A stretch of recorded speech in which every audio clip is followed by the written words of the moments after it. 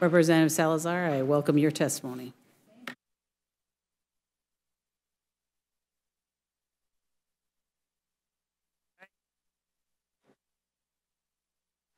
There. All right. Thank you. Thank you.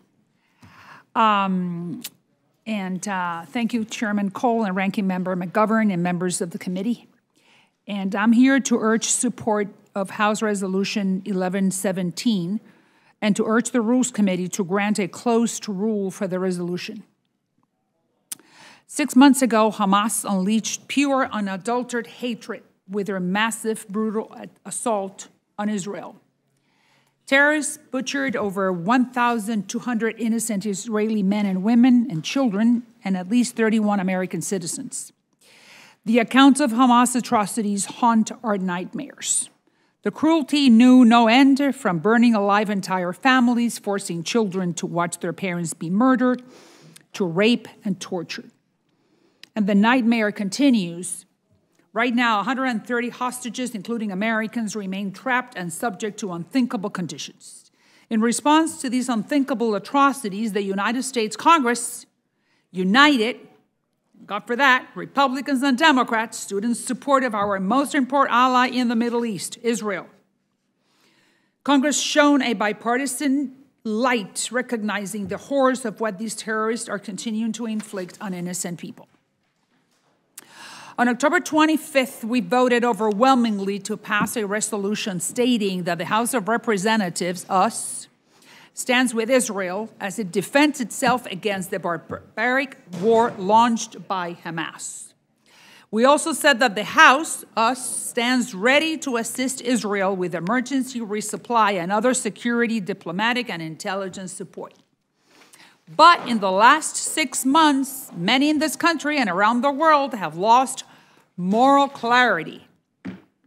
For the last 16 years, Hamas has embedded itself and its terrorist infrastructure among civilians in Gaza. We know that they have built tunnels under schools, hide weapons in hospitals, and turned water pipes into missiles. For that reason, the humanitarian toll from this war is immense. But one thing is clear Hamas started this war and has no intention of ending it, and the White House just said it right now. There was a ceasefire on October 6th Hamas broke it. Efforts to release hostages, Hamas is obstructing negotiations. For these reasons, I'm deeply concerned by the Biden administration's decision to publicly pressure Israel to stop its military operations in Gaza without demanding the release of hostages or other concessions by Hamas. On March 25th, for the first time during the conflict, the United States allowed a United Nations Security Council resolution calling for an immediate ceasefire to pass. On April 4th, a summary of President Biden's call with Prime Minister Netanyahu stated that our president underscored that an immediate ceasefire is essential to stabilize and improve the humanitarian situation and protect innocent civilians. Neither the United Nations resolution nor President Biden's phone call demanded a release of hostages, at least in exchange for a ceasefire. Nothing. Nothing was asked in exchange. That is why I authored this resolution stating that we stand with Israel as it defends itself against Hamas' barbaric war and reaffirming Israel's right to self defense. My resolution opposes effort to place one sided pressure on the state of Israel regarding this conflict. Israel did not start the war. This war was not chosen by Israel. We need to support our ally Israel as it fights to restore its security, not empower the terrorists. Again, thank you, and I urge support of House Resolution 1117, and I welcome any questions you may have. Thank you for your testimony. Mr. Meeks, I welcome your testimony. Thank you. I'm here to speak in opposition to this uh, partisan resolution, which really has nothing to do to help release the hostages, help the state of Israel, or the Palestinian people. It's a cynical and misleading, and in my estimation, is really just a stunt meant to gaslight every American. The resolution states that, and I quote, opposes efforts to place one sided pressure on Israel with respect to Gaza, including calls for an immediate ceasefire, such as the recent statement by President Biden and the United National Security Council, Resolution 2728, which was adopted due to the Biden administration's decision not to exercise the United States veto. Let me tell you something. This is why this is disingenuous and misleading. Firstly, the administration's position on a ceasefire has not changed. President Biden is seeking a temporary ceasefire combined with a release of the hostages. Now, do you know who else supports this policy? Who I've heard say the same thing? Actually, Prime Minister Netanyahu and his government, who, as we speak, are actively engaged in negotiations to achieve this goal. Secondly, there was good reason for the administration to abstain instead of vetoing the UN Security Council resolution mentioned in, the res in this resolution. Why? Because this resolution came after weeks of negotiations at the UN, during which we did in fact use our veto to dismiss some other outlandish resolutions. This resolution demonstrated a remarkable progress in getting the parties to move closer to our position. The resolution, the resolution that we abstained from reaffirmed the United States position that a ceasefire of any duration come as part of an agreement to release hostages in Gaza. This is a good thing which the United States and the Israeli government support. This was not a part of any previous resolutions. Secondly, the resolution thanked the governments, including Israel, who are part of the negotiations to free the hostages. Wasn't part of others. And third, and the reason why the resolution fell short was because it did not contain language condemning Hamas, something that the United States representative specifically called out because it wasn't included therein, further reinforcing why the United States ultimately abstained despite making significant progress on the overall resolution. You know, there is a careful dance of diplomacy being conducted at the UN, one that requires understanding of the context and the process. This resolution that's before us provides no context at all. And when it comes to the process, there, is, there wasn't one. There was no regular order for this resolution. The Foreign Affairs Committee never marked up this resolution. No one knew this was coming to the floor until the last possible moment on Friday afternoon. And indeed, this is the first time ever in my role as the ranking member or the chairman of the House Foreign Affairs Committee that we are moving legislation that needs to pass through the Rules Committee without any markup in the Foreign Affairs Committee. Not one, nothing. This is another sad precedent set by this majority and may well be one you come to rue. It is rich that my friends on the other side of the aisle are playing this game of charades while they continue to reject emergency supplemental funding for Israel. My friends on the House Republican side have had the opportunity to pass the bipartisan Senate bill for weeks while they sit on their hands and seem to be appeasing their dear leader, Donald Trump, and it's to Israel's detriment and to the detriment of our own national security. This resolution is wrong, misleading, and a distraction from the real work that needs to be done to free the hostages, help our ally Israel, and meet the humanitarian needs of the Palestinian people. What Israel needs is bipartisan support in the United States to meet its many challenges. Republican leadership is actively damaging the U.S. Israel relationship with this partisan game. We should not be playing games while so many lives are on the line. This resolution should not come to the floor, and instead we should move ahead with the productive initiatives that actually help the people of this country and our friends around the world. And I should say this also, without hoping no one gets after him.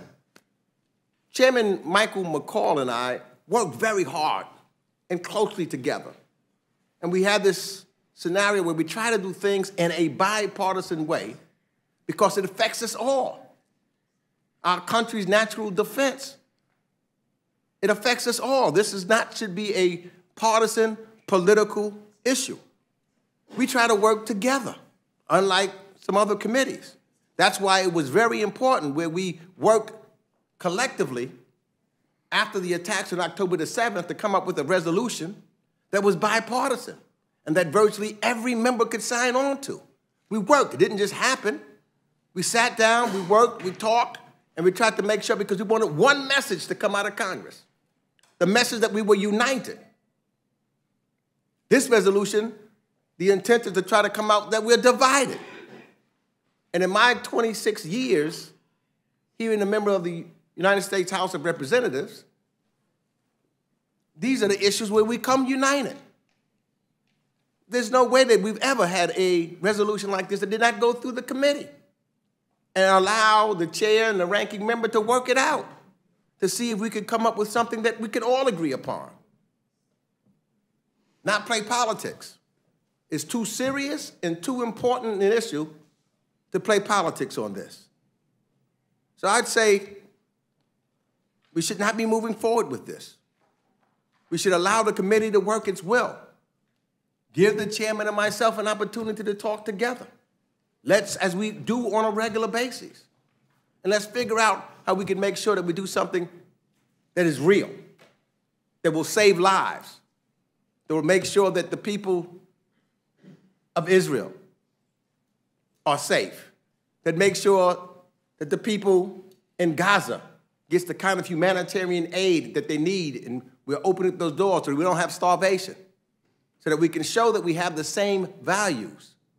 And yes, to make sure that we go after in a way that is not destroying all life, but yes, holding Hamas accountable for the atrocious acts that it committed on October the 7th. I think that we should be able to find that and do that collectively, not in the way that this manner, this resolution is uh, being put forward. With that, I yield back. Chair, thanks, gentlemen. Chair, thanks both of our witnesses. Representative Salazar, just give you an opportunity to respond to anything that uh, Mr. Meeks has just alleged.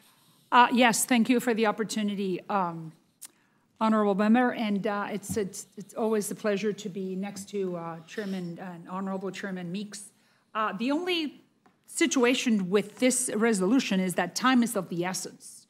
Um, we were during the, not in session when the conversation between President Biden and Prime Minister Netanyahu occurred. So I think it's of utmost importance for us as members of Congress, Democrats and Republicans, to send a message to the world that the United States Congress, along with the White House, is with Israel. That's why we need to move forward, need to move fast, and send a very clear message that Democrats and Republicans, we are with Israel. And that is not of our, is not important, it's not a, a good idea for our uh, from coming from our White House to send the message to the world that we are imposing on a foreign leader like Mr. Netanyahu, who is under war right now, that he needs to call for a ceasefire and that he has to stop the war right now unilaterally. That's the only reason why we're doing this, and we're doing it so quickly because this time is of the essence, and we need to send a clear message, Democrats and Republicans, that we are with Israel. So certainly uh, underscore that time is of the essence. And I mean, I, you all sit on the com- committee of jurisdiction. I don't, so I'm not um, given the same depth of briefings that you all are, but it, I mean, this morning there was a report that yet another hostage had possibly perished and while waiting for some resolution of this. I mean, this, this needs to happen.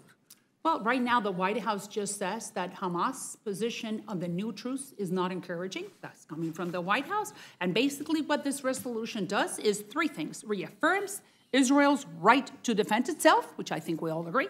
Number two, reaffirms the United States' commitment to Israel, which we all agree, and opposes President Biden placing one sided pressure on Israel to call for a ceasefire. Hey, the war could stop tomorrow if both sides come, and if Hamas comes to the table in a uh, legal fashion with the true intention of stopping what's happening. Uh, it's, not, it's not Israel's timetable, it's Hamas's. Well, thank you both for being here. Um, Mr. McGovern. Wow. Um, anyway, uh, I'm listening to this. Um, you're on the Foreign Affairs Committee. You introduced this resolution, and you just said that the reason why regular order wasn't followed was because time is of the essence. Uh, and it was so vitally important to get this bill to the floor, a non-binding resolution, a, basically another press release. Doesn't do anything, doesn't have the force of law, doesn't have, doesn't do anything at all. Uh, that there was no time for, uh, like today or yesterday, for the Foreign Affairs Committee to schedule a hearing or even a markup, but this is so vitally important, but it doesn't do anything. It doesn't do anything. You can give a speech, and it'll have the same effect as moving this legislation forward. Um, So, okay, now we're, that's your excuse for not having the Foreign Affairs Committee follow regular order. All right, what, now we're in the Rules Committee, and you're asking for a closed rule? So basically saying that nobody can offer an amendment, nobody will have any opportunity to make any changes? Um, You know, we could do that and debate it tomorrow, and, I mean, so would you be willing to change your view and say we should open this up, or that we should allow for some amendments, or, or are you married to shutting this, the whole process down? I think that the message is very clear and that we all agree on these three So- points. so the answer that is no? that Israel defends that The answer we. is, no. I guess I'm just trying, that's not my question. My question is whether or not. think that these whether- three whether or not- points are I'm- I'm- very clear? No, well, my, you're not And I'm sure that you agree with No, that. you're not answering my question. My- Yeah, yeah. You know, my question is, since you shut the process down totally, I mean, again, this is the most closed Congress in history. It's like Russia here, when, the way we're bringing legislation to the floor. Oh, I wish the Yeah, Russians yeah, would yeah. look like So I'm just simply saying that you, that you were saying that, that you're saying that you are against anybody offering an amendment to this, which could be debated and voted on tomorrow, and this could move forward quickly. Ranking member, honorable congressman, you know that uh, in the House, things move slowly. No, but, And- but- but and- we could have, a- and we could have a couple of amendments. And we could be voting on this We could have, we could have a few amendments. I mean, uh. I think that mean- the resolution stands for itself and that it, what we, the three key points are exactly what the House of Representatives And- needs to be sending out to the world, specifically helping Israel. and And another- sending a message to our allies that we are still, as a country, backing the state of Well, Israel. I I think everybody, I think virtually unanimously condemned this horrific attack on Israel on October 7th. Um, I mean, it was immoral, it was terrible. We, we have all called for the hostages to be released. And you talk about moral clarity in your statement, but I didn't hear you say one word about the famine in Gaza, about the suffering Palestinians, uh, about the fact that we can't get food or humanitarian aid to them at scale, that World Central Kitchen workers were bombed and killed delivering food aid, notwithstanding the fact that they coordinated with the Israeli Defense Forces. I mean, not, not, not even a, a hint of, of concern about the 33,000 people that are dead um, in Gaza. I mean, I, I'm, are you okay with all that? And I, I uh, just want to state that Democrats do not have a monopoly on compassion. We're compassionate too. There are 33,000 Palestinians that have died, 70,000 injured because of the war. Half of Gazans are experiencing extreme hunger. This is a tragedy. Of course, those kids should not be going through what they're going through. But it's also true that uh, in the last uh, few months, 468 trucks full of food have gone into Gaza that we are helping and that we are treating thousands of Palestinians. I mean, I mean, the Israelis are treating thousands of Palestinians in Israeli hospitals, and that the only So you're- force that is stopping food to get to the Palestinians are, is Hamas. Excuse because me. Because there are excuse three me, different excuse- corridors. Excuse me. The uh, That is incorrect. That is right. incorrect. Tell that to the, the workers at World Central Kitchen who were bombed and killed. And that was a tragedy. Right, right. But Tell you know, to the- Israel did what Hamas never does. Yeah, wow. It assumed responsibility. It fired the responsibles. It, uh, it there's transparency, and they Oh, yeah, assume okay. I mean, responsibility. is- so, right, so it's of course that it no. was terrible what happened. Of course, seven people dead. Yeah, well, no, I- but I don't right now, I don't three believe- I new corridors are open: the North Yeah. Gaza, the port, Well, and Jordan. yeah. So, I- Israelis want the Palestinians to eat. Hamas is the one who's using them for There the is a war of the famine. images. There is a famine going on, Ms. Half Salazar. of the There is a famine right now. experiencing extreme- Yeah, uh, right. we- we know There it. is a famine going on. People are starving to death. Hamas could stop. Medical aid is not getting to, uh, to the, to the Palestinians in Gaza.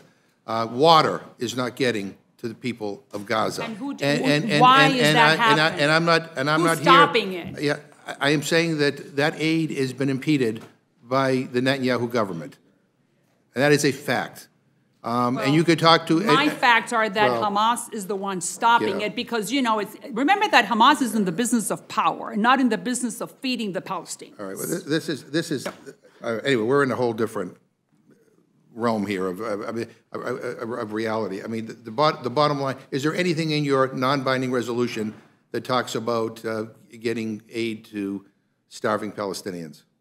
I just, if you want, we can work on one together, but and I'm think, No, I'm sure that the, No, the But is there anything in this bill? The question is, anything in this bill? basically what, the only message that we're sending here, honorable congressman, is that we would want the rest of the international community to understand So that that the a no? House of Representatives is not uh, agreeing with, uh, with ordering or forcing Netanyahu to do a uh, ceasefire without bringing the other So side I- to the So I table. guess that's a no, right? There's no- nothing in here that talks about delivering humanitarian aid at scale to uh, people who are starving to death We in, do uh, not want the Palestinians to But starve. there's nothing in this bill, You know, the correct? Palestinians are as much as a hostage to Hamas as the Israelis are. Right, but there's nothing in this bill that talks about their suffering. Uh, Ms., uh, Mr. Meeks, uh, you know, we're here considering a simple resolution that does nothing, as, except, as you s- pointed out, that tries to score cheap points using the war in Gaza and the humanitarian crisis as a cudgel against President Biden. Um, uh, Instead of doing this resolution, uh, can you tell us what the House could consider uh, to actually help the people of Gaza and help try to uh, ensure the security of Israel and help get the hostages released? Well, the first thing that I think that, Mr. Ranking Member, that is important is we could do this together. And we can make sure that all of those things that you talked about with reference to getting aid into Gaza to stop starvation from happening, we could sit down and figure this out. Not play politics with it, which we know will be a one sided bill, because that's what Right. it is designed to do. If it was, we wanted to really work collective together so that the world can see that we're working on one piece. We care about Israel, its right to defend itself. Everyone has said that. We're against the horrific acts of Hamas. But as my dear colleague has said, if we are real values and humanitarian, that should be included in here. Well, Ms. Salazar just said that uh, this is, time is of the essence. It's so urgent to get this non-binding resolution to the floor to vote on it that we don't have time to do regular order in the Foreign Affairs Committee, and we don't have time to even consider one amendment uh, on the House floor that comes out of the Rules Committee. I don't, I don't know what your response to that My is. response to that is what you said. Yeah. That's like a totalitarian yeah, government. right, yeah. It's not where you have an opportunity to have real dialogue and conversation to get a real result, to get compromise, to work together. You know, it's not like it's a domestic issue. The world is looking at us. And is that the message we want to send out to the world? It is the wrong thing for this body, it's the wrong thing for this country. People are dying. And there is, you know, what we need to talk to, and here's someone who's doing it on a bipartisan manner, Cindy McCain. Yeah, absolutely, with the World Food Program. with the World Food Program. She's the one that's talking about a matter of short weeks that people are dying right now and what we could do. And we could work and figure out how to collectively work together so that we don't have starvation, how to hold Hamas accountable, how to release the hostages. Those are things that we should be doing in a collective manner, not doing this as we have done on this committee. It's not like this committee hasn't worked together. It's not like this committee hasn't put together bipartisan resolutions and worked to try to figure this out. We didn't have to, you know, it, it, it, it, doesn't take a year to get that done. You have a chairman and a ranking member that are willing to work together. So there's no need to do this. And as you said, Mr. Ranking Member, if you don't want to do that, then at least put these amendments and let us do it, have a debate on the floor. That would seem to me is what a democracy is really all about, unless you don't want to hear the whole truth.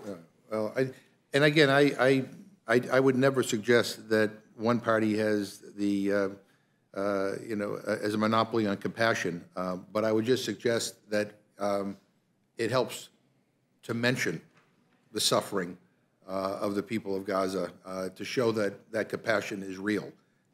And I am, you know, we are all horrified by what is happening here. Um, And the idea that this is how we're spending our time, um, you know, I think the other message to our, to the world is that we're not a serious place. This is, none of this is serious. I mean, this is all politics, and it really is, is terribly disappointing uh, and distasteful. With that, I I yield back. Gentleman yields back, Chair. Thanks, the gentleman. The gentleman from Kentucky is recognized for his questions. I hate it when I find myself agreeing with something the other side said, but I do. I don't think this is a good use of time. Um, what What do you all think is the solution to the crisis that's going on there? And does this resolution get us any closer? I asked you first, Ms. Salazar. What's the specific question, Mr. Mayor? What? How do we How do we get back to peace or to a better peace? Because I don't think it was a good situation to start with.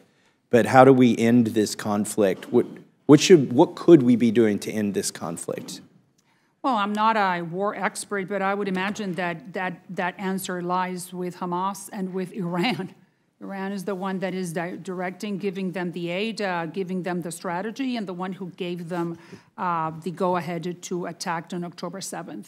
So um, I would, I, I- I am sure that it's in Israel's best interest to do everything possible for them not to escalate the war, but uh, the Israeli government has said it that they need to finish Hamas if there is going to be peace for them and for the Palestinians.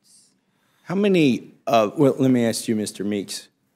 How do we get to a solution to peace, long-term peace, or even just short-term? Well, let's talk about both. Long-term peace, we need to go back to what was taking place before with some of our, some of the Gulf countries that's in the region, talking about normalization with Israel so that they can be able to be working side by side. We need to make sure that, and, and, and as I've talked to, and my members of the committee have talked to, a number of the foreign, uh, foreign uh, ministers, uh, whether it's from Saudi Arabia, whether it's from uh, UAE, who has agreed to normalization, whether it's Bahrain, who's agreed to normalization. These things were starting to happen now so that people will recognize Israel's right to exist. And Israel then looks and recognizes and have a formulation of a two-state solution where people are working side by side as what took place in the 70s when Egypt decided that there was no need to have war anymore. And in the 90s, when Jordan decided there was no need to having war anymore, to try to figure out how we can live and exist together. so this is a, the, a beginning of a long-term solution that can fundamentally change the Middle East as it has been over the last 75 years, where each side is trying to fight one another. Does this resolution get us any closer? No, this resolution does what the ranking member has said, basically. But if, look, I firmly believe, firmly believe, if the chairman and I had an opportunity to sit down and try to work this thing out and try to come up with something that would be inclusive of talking about Israel's right to defend itself, of talking about the misdeeds of Hamas, but also talking about the Palestinians, the, the, the children, the women that have lost their lives. I understand that 13,000 children, 9,000 women. And we were also talking about and showing how considerate we were about the children that are now dying of malnutrition. If that was inclusive of all of this, it'd be something that the world could look at and say the United States collectively, not just Democrats, not just Republicans, that these are what our values are as human beings. And here's a real solution to change fundamentally what has been taking place in the Middle East. Let, let me ask you about that. Um, you know, the attack on Israel was barbaric and horrible, and there's no excuse for it. Okay. But this resolution mentions there were 1,200 people that died on October 7th, and it doesn't say anything about the ongoing casualties in this war. What, what are the casualties? Do, do you know, Ms. Salazar?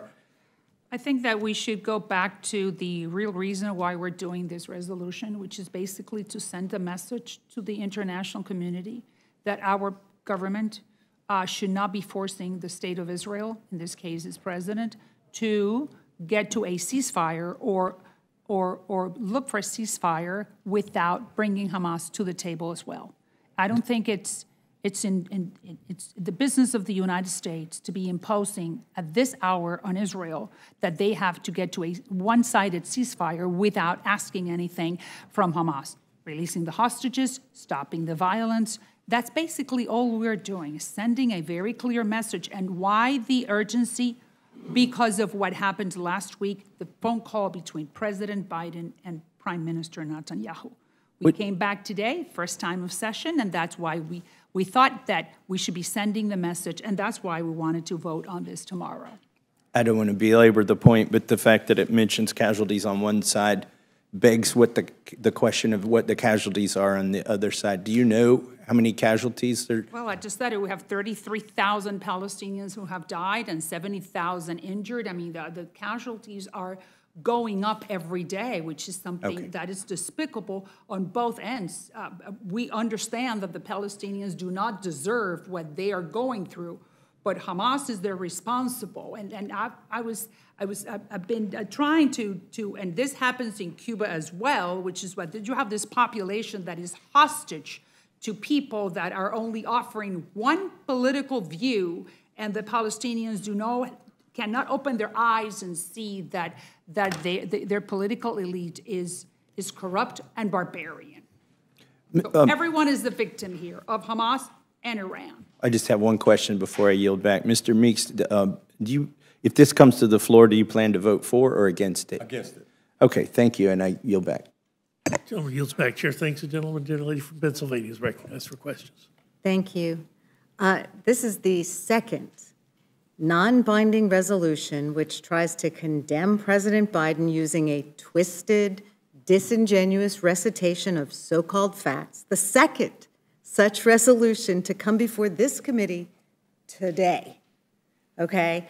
Uh, House leadership refuses to pass assistance to Israel or humanitarian aid to Gaza, but they will waste our time, Congress's time, taxpayer dollars, trying to score sick political points and foster division and chaos here in Congress and across the country. So as we embark on the fifth hour of our hearing here today, you can understand why patience might be wearing a little bit thin, apparently on both sides of the aisle, uh, for this type of political nonsense. I, I think we've seen more than enough of it for one day, and we should move on.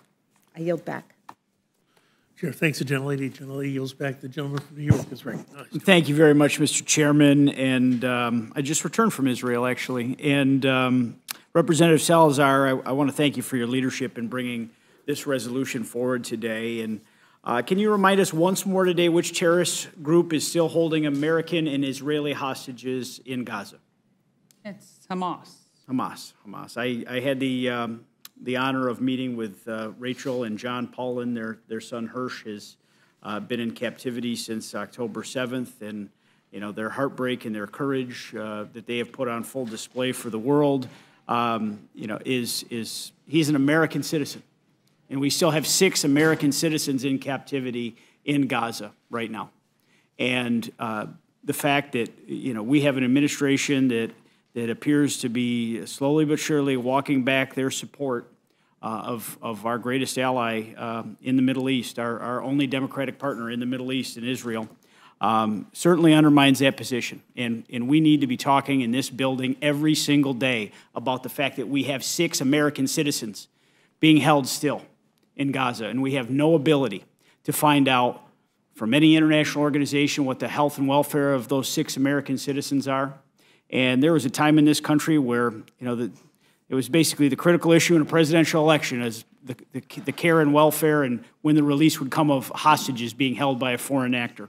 And right now, we, you know, there, there are many um, other hostages there, uh, Israeli hostages, and, and my heart breaks, you know, for all those families and what they have been through and the horror uh, and the tragedies that unfolded on October 7th.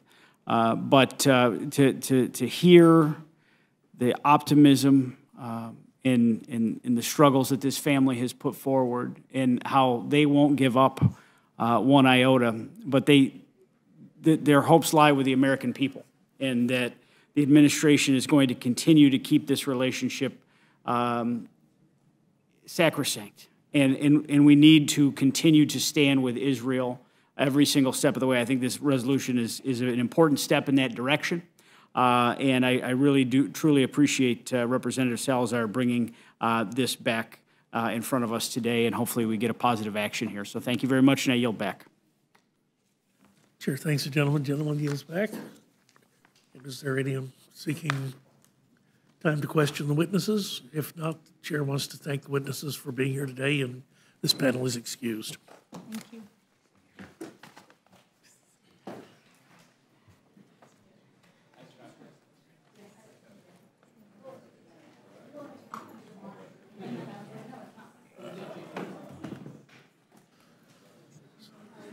We're going to move straight into the uh, amendment panel. Uh, Mr. Klein, Mr. Biggs, and Mr. Crenshaw, if you'll join us at the front of the room.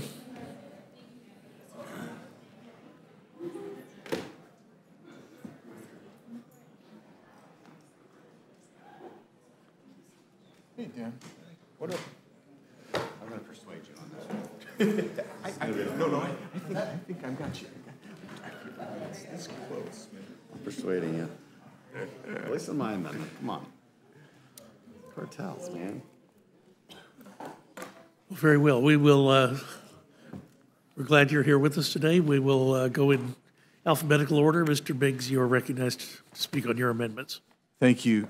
Thank you, Mr. Chairman, and I thank uh, the ranking member and uh, the members who've endured a rather lengthy hearing, and there must be some special place either in heaven for you or you did something really bad somewhere yeah. yeah. Well, it's good to be with you. Um, and I, am here to talk in support of, of, of my two amendments, um, which would stop warrantless searches of U.S. person communications in the, in the FISA 702 database and also strengthen the roles of the FISC amicus curiae, consistent with reforms proposed by Senators Lee and Leahy, which passed the Senate in 2020 by a vote of 77 to 19. Appreciate Chairman Jordan for his support um, and also Ranking Member Nadler, Representatives Jayapal and Davidson for their co-sponsorship of these amendments. And I also thank Representatives Lee and McClintock for their work with me over the past year advocating for priorities of the Judiciary Committee. Um, as Mr. Roy was kind of iterating to you earlier about this lengthy process, um, I, I endured all of that process. And, and so um, I appreciate uh, everybody who helped us with that. Section 702 of the Foreign Intelligence Surveillance Act authorizes warrantless search surveillance, and for that reason, it can only be targeted at foreigners overseas. And yet, when the government conducts surveillance of foreign targets, it may incidentally collect Americans' communications, but that word incidental is key. If the government intended to spy on these Americans, it would have to get a court order based on a showing of probable cause either a warrant in a criminal investigation or a FISA Title I order in a foreign intelligence investigation. And despite prior efforts by Congress to protect Americans' privacy, including minimization procedures uh, and FISC court certification requirements, federal agencies with access to the 702 database continue to conduct routine warrantless searches of the 702 database even today for information on calls, text messages, and emails to or from Americans. In just one year, the FISA court reported that there were 278,000 violations of the government's internal rules for conducting searches, and you've been over that, but I'm just going to remind you of what a couple of those are, what a few of those are. Uh, two of our own colleagues in Congress, multiple current and former federal government officials, a state senator, a state court judge who contacted the FBI to report potential civil rights abuses, Demonstrators at Black Lives Matter protests in the summer of 2020, individuals present in D.C. on January 6, 2021, even those who weren't in the Capitol, journalists and political commentators, a local political party, victims who contacted the FBI to report a crime. They were reporting a murder of a relative. They were victims, and they were surveilled. A batch query of 19,000 donors to a congressional campaign. I could go on and on, but I just found it interesting when, when the chairman of the Intelligence Committee today said, you can't, you can't do this to American citizens. They would have to have been communicating with Hamas, is what he said. Are you mean to tell me there were 19,000 donors who were somehow contact with Hamas? It's not true. It's, it's, it's inaccurate. It's also been publicly reported that NSA agents have abused 702 to search for communications of online dating prospects, potential tenants for rental property. One, one thought his father was cheating on his mother and looked it up. Well, the underlying bill makes important changes to the program, such as increasing penalties for agents who run improper searches of the 702 database. Other changes merely codify procedures. Now I'm going to go through that in just a sec. You guys don't want to hear that, but I, I, I, I got to get it on the record. The only way to ensure that Americans' rights are protected and that the abuses end is to require the government to obtain a warrant or a FISA Title I order before searching 702 data for Americans' communications. This is the right pro- approach.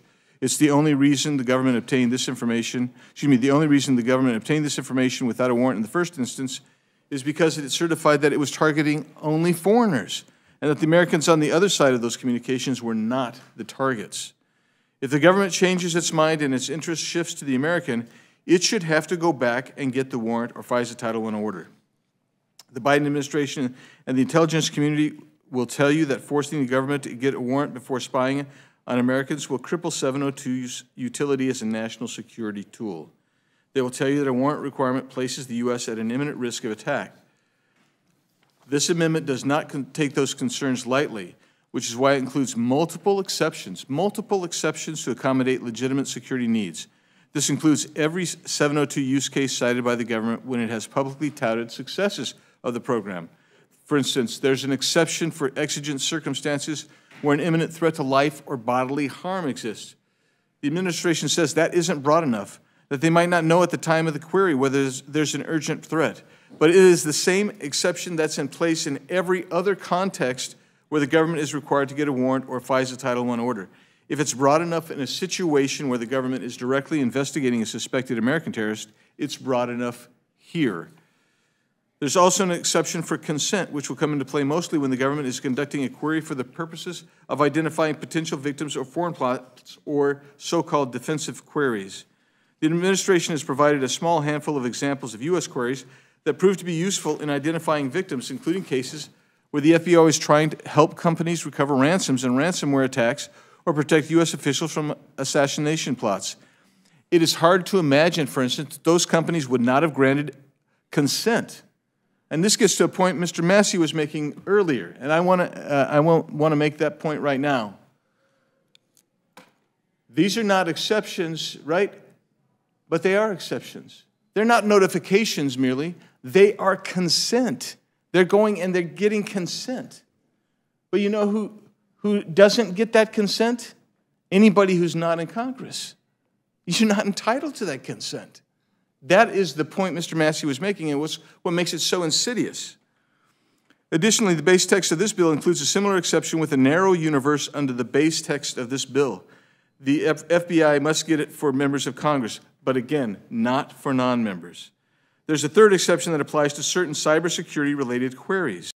This would enable the FBI to identify communications that contain malware and act quickly on that information.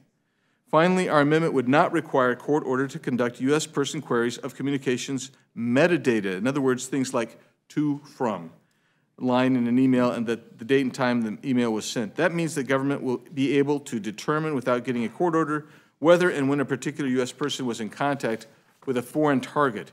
In many cases, that information combined with whatever information led the government to look at this particular U.S. person in the first place will be enough to support a probable cause order.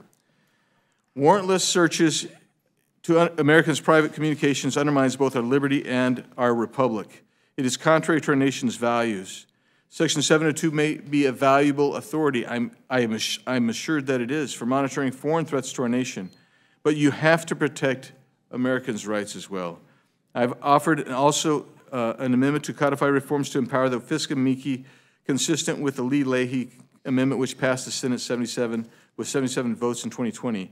The amendment substantially strengthens the role of amici to independently analyze FBI surveillance requests that are particularly sensitive. This protection is critical because the FISA court is not adversarial, meaning that there's only a government lawyer, there's only a government lawyer there, and the judge, and there's no one there to uh, protect Americans' who interests who are under surveillance and advocate for them. So that's why this amici amendment is so important. Uh, the amendment would authorize and actively encourage FISC judges to seek independent amicus reviews in all sensitive cases, and that's important. The amendment would also require that exculpatory information be provided to the FISA court. That is important. So uh, I want to just uh, give you two, two or three documents. Uh, one is uh, the FISA 702 reauthorization amendment. So you heard in earlier testimony the claim that um, there was no cyber uh, spying going on, that there was not going to be anything at the, at the uh, um, coffee house, but you didn't ask it quite in the right way because the, the, it, it does. The underlying bill actually has that, and so I give you an article um, expressly stating that, dated today's date, FISA 702 reauthorization amendments.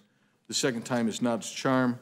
Uh, and then um, I will give you also um, uh, last time uh, we were here, maybe it was not, maybe it was, it was somewhere along the pike, I offered a letter uh, dated December 11th, 2023 from the U.S. Privacy and Civil Liberties Oversight Board, which was created as part of the 9-11 Commission Act of 2007, Title 42 U.S.C. Section 2000.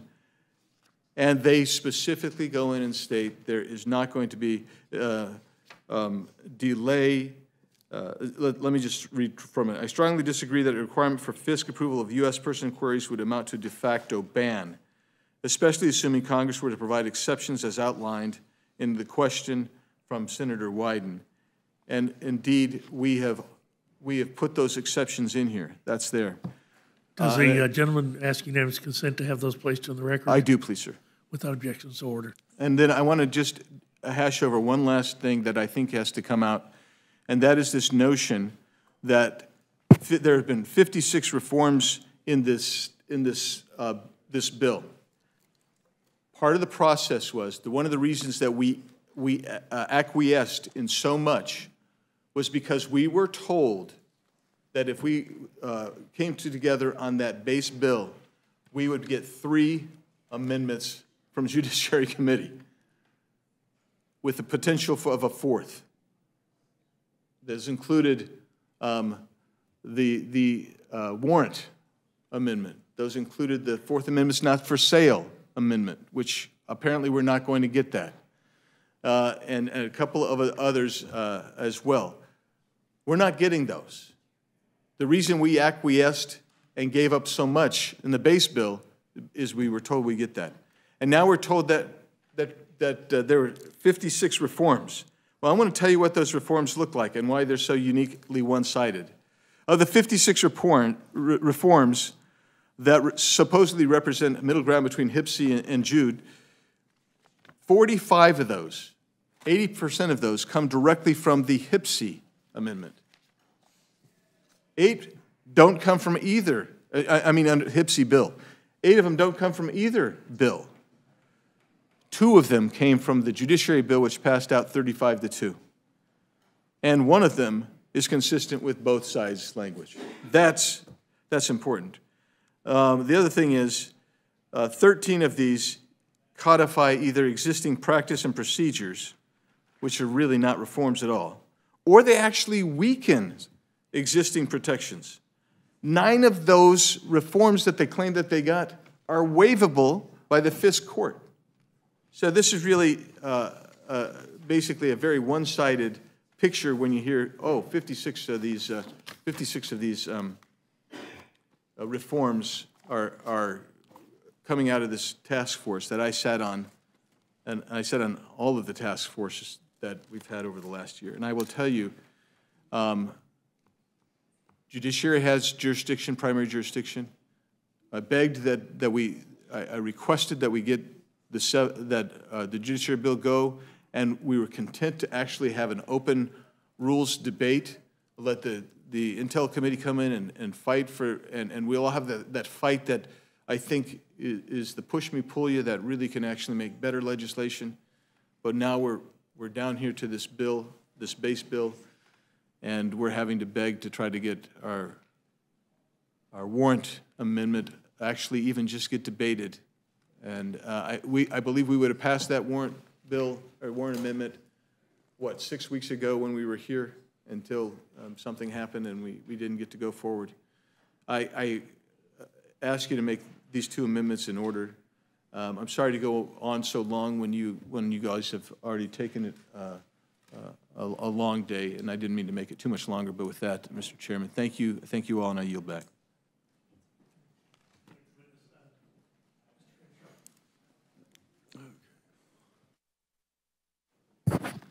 Thank you, Mr. Chairman. Uh, Thank you, members of the Rules Committee, uh, for staying up late with us. And uh, I can tell you how much we we appreciate that. I want to say um, uh, quite a few words about my amendments and maybe the the bill in general.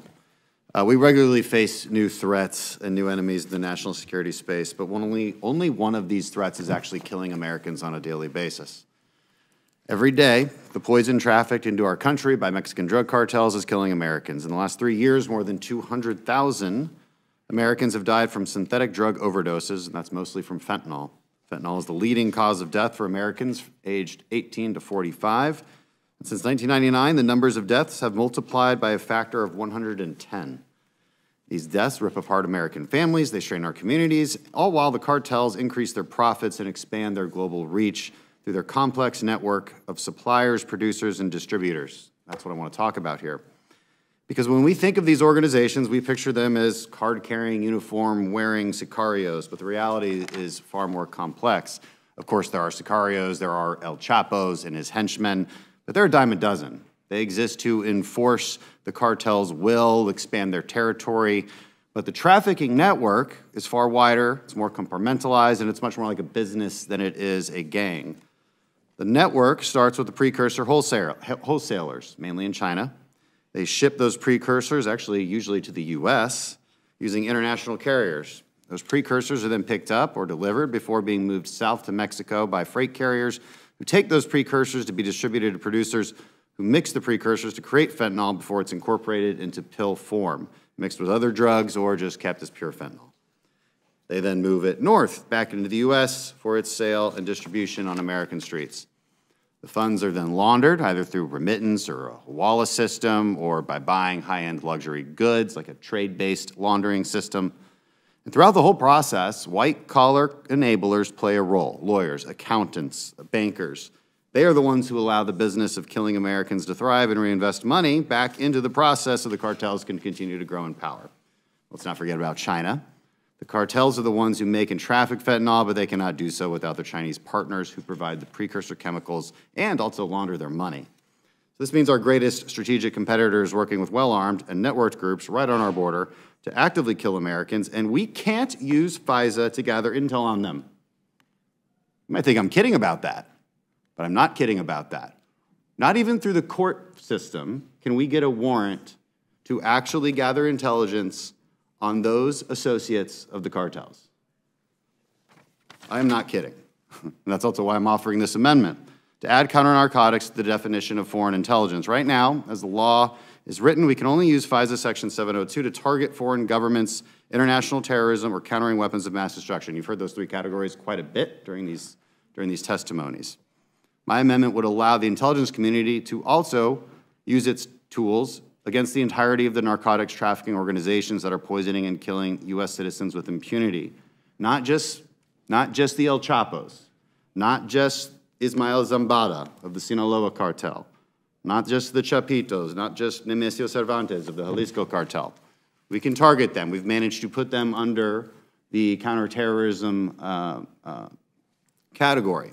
But everybody they deal with, we have no legal ability to even get a warrant on them. So this amendment would allow us to go after the entirety of their network from precursor supplier to shippers and carriers to producers and pill pressers to distributors because it's these networks, not the cartel leaders, who are actually making the deaths of Americans possible. I know there's opposition. I know some simply wave their hands and say, well, you're expanding FISA, so no. That, that's an incomplete argument. What we're doing is we're updating our target sets, just as anyone would when you face a massively increased uh, threat and massively increasing deaths of Americans because of this particular problem. We're providing those new authorities because we're getting 29 11s every year from this problem. I chair the, uh, the task force to combat Mexican drug cartels. I've done countless meetings, traveled quite a bit, and been shocked to hear from our intelligence community what they don't do and what they cannot legally do because counter narcotics is simply not one of the categories that is allowed under FISA. I strongly urge uh, this, committee, this committee to make this amendment in order, and I strongly urge my colleagues to adopt this amendment on the floor. Thank you, and I yield back.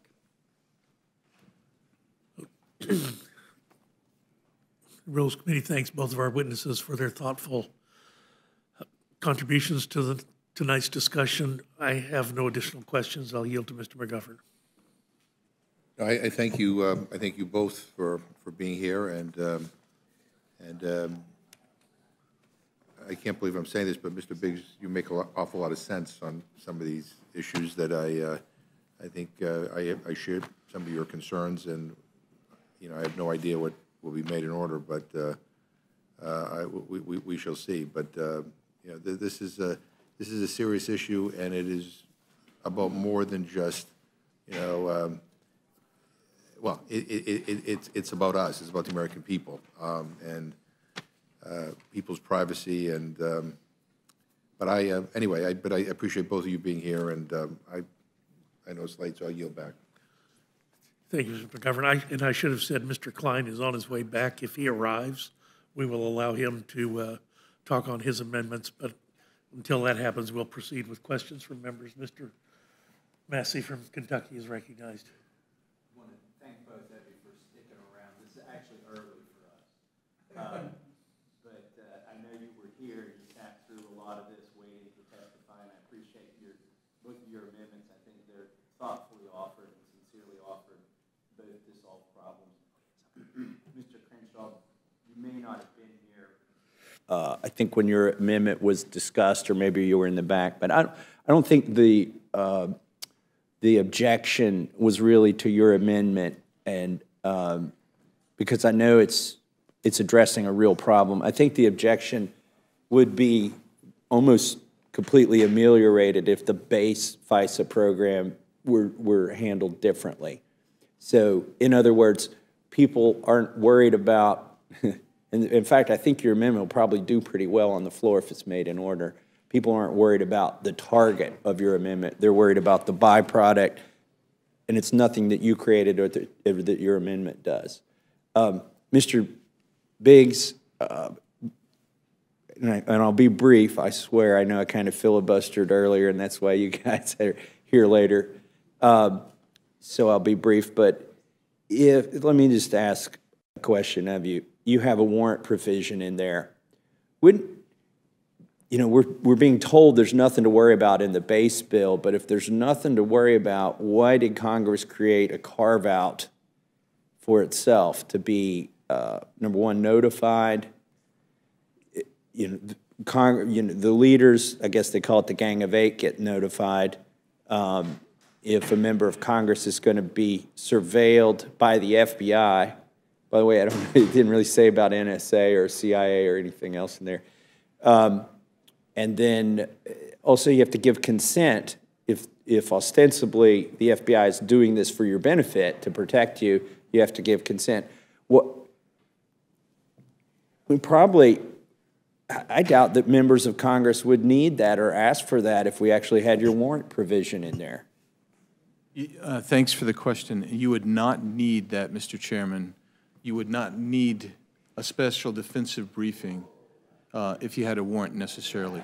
Now, what I would tell you is, is what, what the Intelligence Committee Chairman, his argument is, and his position is that, is that um, these are special interests and that these are subject to political bias, both, both from the, the agency, but also potentially compromising politically. So that's why they, they provide the carve-out. Now, I'm not sure that persuades me, but um, my understanding is that's, that's really their position. I, and I'm not trying to articulate it, but I, that's, I mean, I, like I say, I was in there with them for a year. I'm pretty sure how that, how that goes. But, but I think a better approach would be to treat us like the American people and say, they got to have a warrant. And, um, and, or, or do what we say, include our warrant provision where we actually say, you can, you can go to somebody and seek consent, like, like on, on, on the businesses that, that they surveil. They- It's an exigent circumstance for the business. They want to get that resolved. They're going to grant consent because they want to, if there, if there's ransomware and they're being held hostage. All right, I yield back. May, may I Gentleman respond? yields back. Uh, Yes, did, did you have something you wanted to add, Mr. Green? I'll, I'll yield time before I yield back to Mr. Crenshaw. No, th- th- Thank you. Um, Well, well, certainly, I, I- I, I believe you're sincere in your remarks. Um, I, I was listening to the, to the conversation earlier about this particular amendment, and multiple members voiced their opposition to it as such. Um, And I hope we're not in a place where we, where we, where we oppose things we say we support just because we don't support some of the underlying processes of, of FISA. Um, And so I think it's important to, to maybe make a few comments then about, about the, the, the real debate here, which is about warrants uh, on queries. And let's take counterterrorism, uh, for instance. So it's, it's easy to say that foreign intelligence should be directed at counterterrorist threats abroad. But I might remind everybody that we only care about counterterrorism abroad because of what they do here. And they can only do things here if they're talking to Americans here.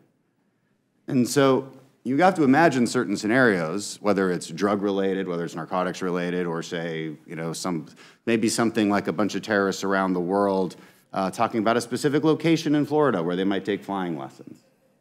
Maybe you want to do a query on that specific location. That location would have a name. It'd be an airfield. It'd be some kind of like flying instructor course. That would be under the U.S. persons category. Now, if they're just talking about taking flying lessons, you would not have probable cause to get a warrant. But a good investigator might want to put some, put some, uh, draw some lines there and make some connections. And you might want to know if you're following one guy, you know, Mohammed whoever, because that's the one guy you have a warrant on for FISA, you might want to know who else is also taking flying lessons there, and you would not be able to do that anymore under this new regime. You wouldn't be able to figure out how many others, um, whether they're foreigners or not, are actually taking flying lessons at that particular airfield. And you could use this same logic about drug trafficking into the US. Drug traffickers would be talking about specific locations within the United States, and they might be talking about them nonchalantly, as they would, as somebody who's tracked bad guys quite a bit. They never say openly what they're going to do. They never say openly they're going to kill a bunch of people or traffic drugs. They speak in code, um, and you know they use some degree of operational security. And it takes good investigators to be able to actually link together what they're trying to do. And if you can't even do so much as, as query a location within the US and try to and try to map out who else has been talking about that specific location, who has ties to it, you're not doing your job as an investigator, and you're certainly not going to prevent the next 9/11 or even just prevent the next 10,000 deaths from fentanyl production and, and, and trafficking.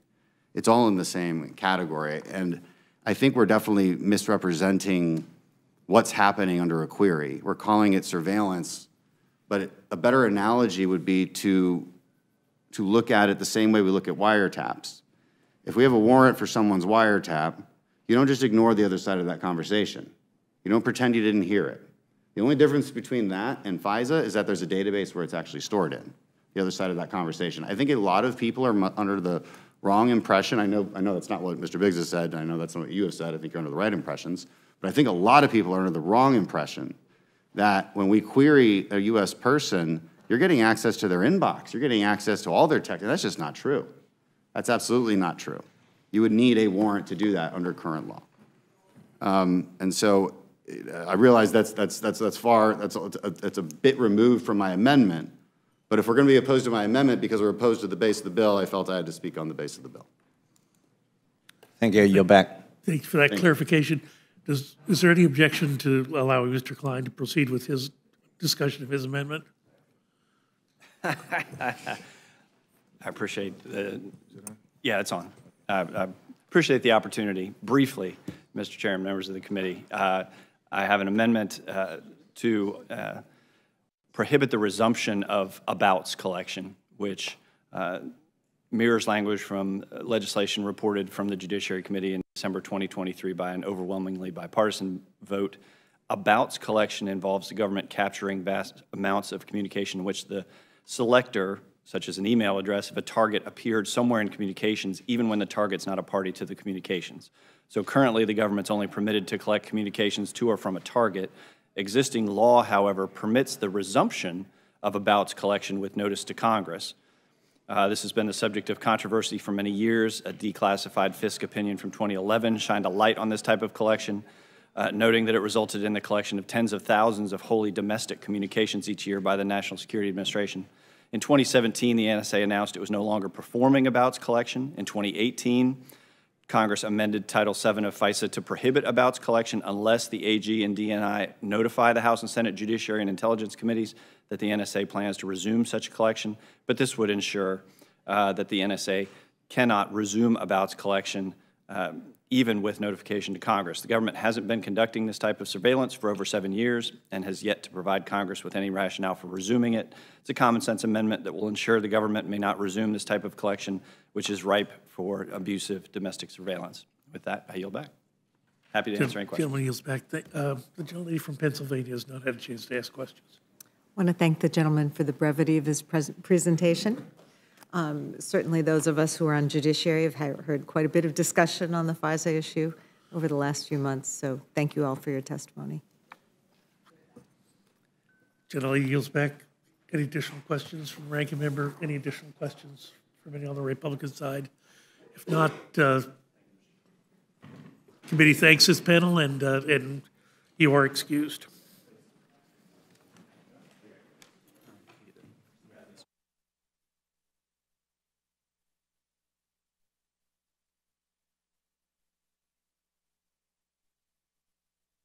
Is there, is there any other member seeking to testify on HR 7888, HR 529, HRES 1112, or HRES 1117?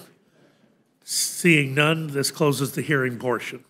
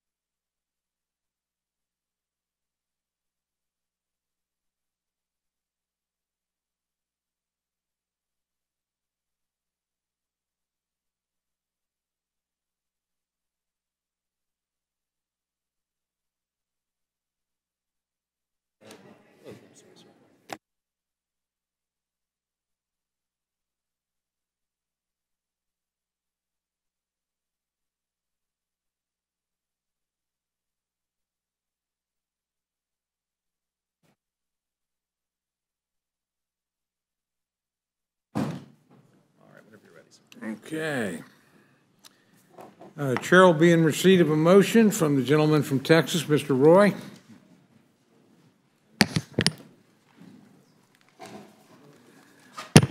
Mr. Chairman, I move the committee grant H.R. 7888, the Reforming Intelligence and Securing America Act, a structured rule.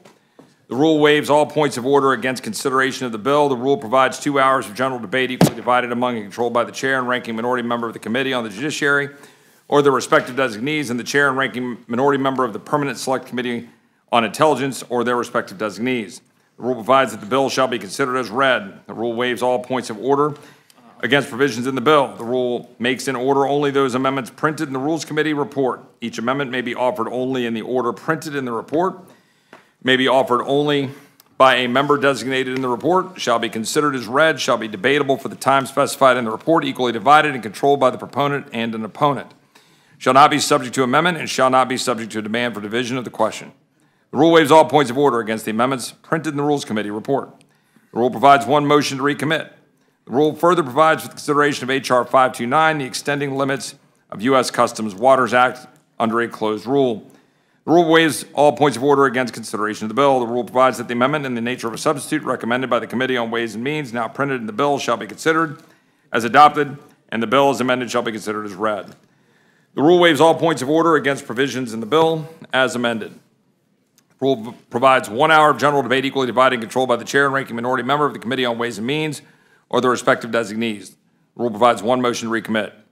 Rule further provides for consideration of HRES 1112, denouncing the Biden administration's immigration policies under a closed rule.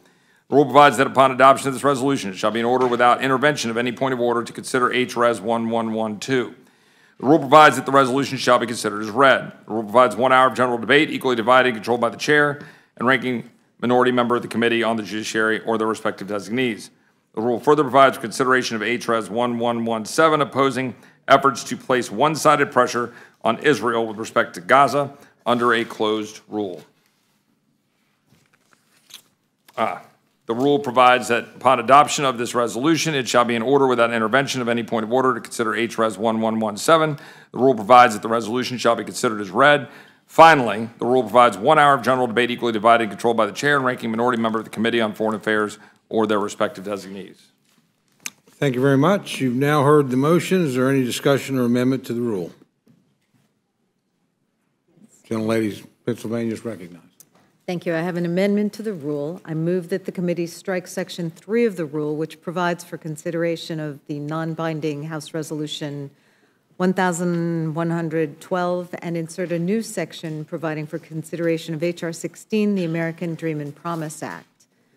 Mr. Chairman, instead of continuing to waste time in consideration of useless, non-binding, and partisan resolutions that don't do anything to solve immigration issues, we propose instead to bring a bill to the floor that could actually do something. H.R. 16 would provide a pathway to citizenship for dreamers, TPS holders, and deferred enforcement departure recipients. It's a good bill, and it's the right thing to do. While it won't solve every immigration issue, it is a great step in the right direction. I believe the American people would welcome it if the House leadership would abandon the do-nothing path and let us consider real legislation. And I know that many of your colleagues on both sides of the aisle would similarly welcome such a change. I urge a yes vote on my amendment, and I yield back. Is there any further discussion of the amendment? Hearing none, the questions on the amendment, all those in favor signify by saying aye. Aye. Those opposed say no. No. Opinion of the chair, of the noes have it. Request a vote. Uh, vote has been requested. The clerk will call the roll. Mr. Burgess. Mr. Burgess, no. Mr. Reschenthaler. Mr. Reschenthaler, no. Mrs. Fischbach. Mrs. Fischbach, no. Mr. Massey. Mr. Massey, no. Mr. Norman. Mr. Norman, no. Mr. Roy. Mr. Roy, no. Mrs. Houchin. Mrs. Houchin, no. Mr. Langworthy. Mr. Langworthy, no. Mr. McGovern. Aye. Mr. McGovern, aye. Ms. Scanlon. Aye. Ms. Scanlon, aye. Mr. Neguse. Ms. Leger Fernandez. Mr. Chairman. No. Mr. Chairman, no. Clerk will report the total. Two yeas, nine nays. The noes have it. The amendment's not agreed to. Are there further amendments? Hearing no uh, requests for further amendments, the questions on the motion to report, all those in favor signify by saying aye. Aye. Those opposed say no. No. The opinion of the chair, the ayes have it. Roll call, Mr. Roll call's been requested. The clerk will call the roll. Mr. Burgess. Burgess votes aye. Mr. Burgess, aye. Mr. Reschenthaler. Mr. Reschenthaler, aye. Mrs. Fischbach. Mrs. Fischbach, aye. Mr. Massey. Mr. Massey, aye. Mr. Norman. Mr. Norman, aye. Mr. Roy. Aye. Mr. Roy, aye. Mrs. Houchin. Aye. Mrs. Houchin, aye. Mr. Langworthy. Aye. Mr. Langworthy, aye. Mr. McGovern. No. Mr. McGovern, no. Ms. Scanlon. No. Ms. Scanlon, no. Mr. Neguse. Ms. Leger Fernandez. Mr. Chairman. Aye. Mr. Chairman, aye. Clerk will report the total. Nine yeas, two nays. And the ayes have it. The motion report's agreed to. Accordingly, Mr. Roy will be managing the rule for the majority. And Ms. Leger Fernandez for the minority. Very good. Uh, um, I recognize my friend. Yeah, I, I, um, I would be uh, remiss tonight if I didn't uh, mention uh, my gratitude to you for your leadership on this committee. Um, And I know there's still a vote that needs to happen, uh, but I have no doubt that our colleagues will recognize your skill as a legislature, uh, legislator and your decency as a person, and will name you the next chairman of the Appropriations Committee. And uh, I, I gotta tell you, we're gonna miss the smell of c- cigar smoke wa- wafting through the, this side of the Capitol building, but on second thought, uh, on second thought, you're only gonna be moving down the hall, so maybe we won't. Um, So I, uh, but I can't think of any other person I would rather uh, chair the Rules Committee. Um, Actually, I should rephrase that, because there was, uh, I can think of one person, uh, me. Um, But, uh, but that's going to take a change in the majority, and that's up to the American people, not to us. But I have to say, it has been an enormous privilege sharing this dais with you. Uh, It is clear that you have a tremendous respect for this institution, and you have always conducted yourself in a way that demonstrates that. And you have chaired this committee with decency and dignity and decorum. Uh, And it's not just in public when the cameras are rolling, uh, but you do it in private, too. Uh, You're a man of integrity, a man of your word, and you work hard to do the right thing, even after the gavel comes down and the cameras are, are, are shut off. Uh, to be honest with you, I, I wish there were more Tom Coles in, in Congress, uh, because I, I think you know the secret of legislating. And uh, it's a lesson I learned from my former boss and, and mentor, Joe Moakley, who's, uh, who served as chairman of this committee and whose portrait watches over us. And that is that you don't have to agree on everything to agree on something. Because the American people sent us up here to work out our differences uh, on their behalf and to do what's right for our country. And it's a skill that I've seen you deploy time and time again to bring people together and to try to find common ground. And even during moments of tense partisanship, like presidential impeachments, uh, our committee has conducted itself in a way that has been lauded by journalists as, quote, a masterclass in civility. So although we don't always see eye to eye, I think that we've, uh, what we've done here is show the American people that it's possible to disagree without being disagreeable. And I, uh, I think that's worthwhile, and I think it matters, especially in this time of polarization and, pol- and partisan anger. I'm also proud uh, of our work together to find ways to partner on areas of mutual concern, holding bipartisan hearings on issues like reforming uh, the War Powers Resolution, uh, seating a Cherokee Nation delegate in Congress, and addressing food insecurity in America. And on a more personal note, uh, Tom, I I really hope I don't get you in trouble for this, but I, I want to tell you how much I value your friendship and respect your guidance and the example that you set around here. I have truly enjoyed working with you, even when we disagree, and in fact, especially when we disagree, because you conduct yourself in a thoughtful, decent, dignified ma- manner, something I can't even always say of myself. Uh, So I, I am thankful uh, for the uh, staff that you have surrounded yourself with. I think they reflect positively on you. Uh, I think they are a credit to this institution, and I hope you don't take all of them with you. Um, And I, um, I also saw the news that uh, uh, Mr. Burgess will be assuming the role as, as chair. I look forward to working with him. Uh, I've enjoyed a, uh, a good working relationship with him over the years, and I trust that he will follow in your examples. So uh, I just want, I just wanted you to know how much I and all of us on this side appreciate uh, your example. Uh, And uh, anyway, uh, you're not going, to- you're you're still going to be here, but this will be your last uh, uh, time as chair of this committee. But just please know how much we all respect and love you, so. Thank you. Thank you very much. Wow.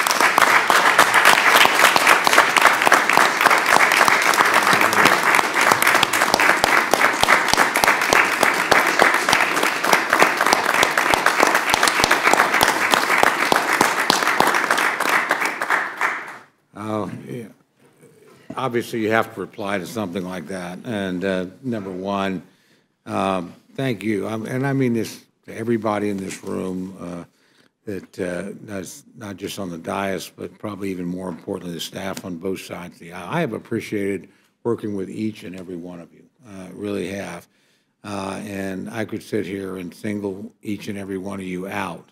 Uh, But uh, my colleagues have made sure my last meeting was one of my longest, so I won't, won't uh, do that. But I will, uh, you know, there's, there's four of you I do have to single out. I want to start with my friend, our distinguished ranking member, our former chairman.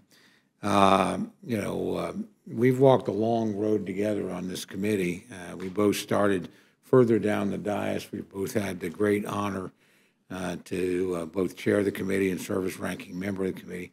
I can't think of a more worthy adversary, and I can't think of a better friend than Jim McGovern. Uh, uh, And I, I share my colleagues' pride in this committee, uh, and I want to thank each and every one of you for the way in which you conduct yourselves uh, professionally and civilly. I mean, everybody up on this dais knows how to throw a punch, uh, but you always do it above the belt, and it's fair, uh, and it's exactly what the American people expect us to do. Uh, And I want to thank the staff for how well they cooperate with one another back and forth.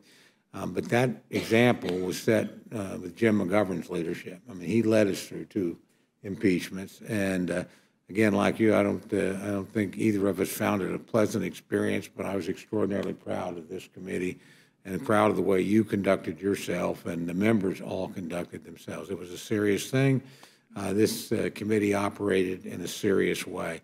Uh, And I think it does that each and every day. And again, you don't do that if you don't have the right kind of chairman, which we did when you chaired this committee, and the right kind of ranking member, which we do uh, while you're serving in that capacity. So uh, uh, I just, uh, I so admire, so respect my friend. I can't uh, do anything other than join you in congratulating my good friend, Dr. Burgess. We came into Congress together. Uh, We came onto this committee 12 years ago when um, our our former colleague, former chairman, Chairman Sessions, decided it would cease to be an exclusive committee, and we would bring expertise up here. Uh, And uh, there hadn't been a day in the 12 years we've been on this committee together that I ever had to wonder uh, how you would vote in the committee or on the floor, that I ever had to wonder how you would conduct yourself in the committee or on the floor. Uh, You had my back every step of the way. I can't think of a better person to have this gavel, my friend, uh, than you. And I know you and my friend, Mr. McGovern, will have a great working relationship. Um, I also uh, be remiss not to, uh, not to talk about the staff. I'm going to focus on two. Uh, And Don Sisson's not here tonight, and I I regret that. Uh, Don uh, was a good friend of mine when he was on this committee earlier. He became a better friend, honestly, when he worked in the Obama administration as a legislative uh, uh, liaison, and uh, I happened to be on his list. I can tell you, he drank and smoked a lot more then uh, than he does now, although I can still lure him in for an occasional cigar even today, and he's probably about 50 pounds better off for the lifestyle decisions he made. But we don't have a better professional. Uh, And uh, he leads your side of the aisle, whether you're in the majority or in the minority, with incredible competence and decency. Uh, And, you know, when the lights do go off around here, we actually do get together and have a cigar and, and talk about the ways we can work together. I, I, I miss this, but I, I want to go back and reemphasize something you said, Chairman, uh, or Ranking Member. Uh, But you like the first one better, I know. Uh, You know, uh, but uh, we have found a lot of ways to work together. And uh, you taught me a lot about hunger, and we worked together, and you got the first White House conference on hunger since 1969, if I recall correctly. Uh, I think I taught you a little bit about Indians, and I appreciate that you were genuinely interested and helpful in that regard. And again, I, I share your pride in the work we've done. Uh, we probably had different opinions of the wars we were fighting, uh, but we didn't have any different opinion about how important it was to maintain the institutional integrity of the House, keep the war powers in the hands of the people. Uh, and uh, our work isn't done on that. We're going to keep working on that together. Um, the other person I got to single out is my staff director. Um, you know, I once in another context called her the pugnacious and tenacious Kelly Dixon. I think that was pretty damn accurate description Uh, You know, uh, I've had the good fortune of knowing Kelly for many, many years in a variety of capacities. And I never thought we'd be able to get her to come to this committee, let alone that she would want to come. Uh, But uh, I think whether we were in the minority or now that we're fortunate enough to be in the majority, nobody's done more for the committee than, than Kelly. Uh, and honestly, I don't think anybody's done more for the institution because she is an institutionalist. I will say it kind of hurt my feelings when, when Steny Hoyer tried to hire her away from me, you know. And, uh, but I knew she wasn't going to go to the dark side. I just knew she was just nice. Uh, but uh, again, um, I think those two staffers reflect the professionalism, the dedication, and the decency uh, of the, pe- the people that over generations have uh, made this uh, committee work, I think, uh, so very, very well, made it a very special place in Congress. Uh, let me just uh, end with this. This is the last time I get to talk to you from this uh, side of the dais. Uh, I'm very, have very melancholy feelings uh, about that because, again, I have great affection for this committee. Uh, it was a committee I never asked to come to, quite frankly, but over time became very honored to serve on. And I hope each of you know, particularly our newer members, what a special experience it is here because everything that matters is coming through here one way or the other. Uh, and you're probably collectively the best informed, uh, you know, members in Congress. And you also clearly have the confidence of your leadership, or you wouldn't be sitting here. Uh, and again, you respect uh, one another, and I think you guys represent your respective points of view and your respective constituencies, uh, and certainly your leadership and your party with great, uh, great professionalism. So I will miss this, but I won't be a stranger. Uh, to my friends in the press, I got three three things to say. Uh, number one, not a lot of press covers this place, but I appreciate the ones that do because I think they're very professional, uh, and I think we get a get a fair shake uh, in this. Uh, I will tell you, I appreciate the courtesy. We have to go to your place to use the bathroom. I have never been stopped going to the bathroom. I've frequently been stopped coming out of the bathroom, but you never, ever stop me going in. And uh, I appreciate that uh, more than I can say. My one quibble would be uh, occasionally that, uh, hey, the Rules Committee isn't broken. We don't lose rules in the Rules Committee. We've had some problems on the floor. We've always gotten the rule out up here.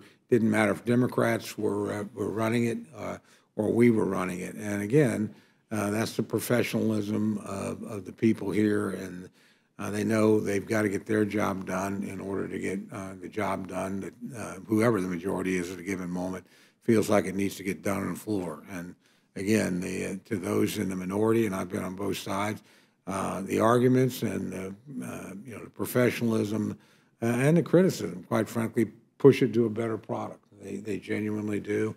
Uh, and holding the majority to an account up here is a very worthy exercise. I'm very much a Lord Acton uh, Republican. I do believe that power corrupts and absolute power corrupts absolutely. Uh, and this, the minority in this institution helps keep the majority honest, hold them to account, uh, and occasionally bloody their nose, uh, which needs to get done from time to time. So with that, again, thank all of you very, very much. Somehow I think there will be cigars until midnight tonight uh, in the room. Uh, there's an assortment of spirits. Uh, some of it's pretty damn expensive stuff, too. Uh, so uh, anybody that cares to come, uh, it's never required, but always encouraged and welcome. So with that, I adjourn this for the last time.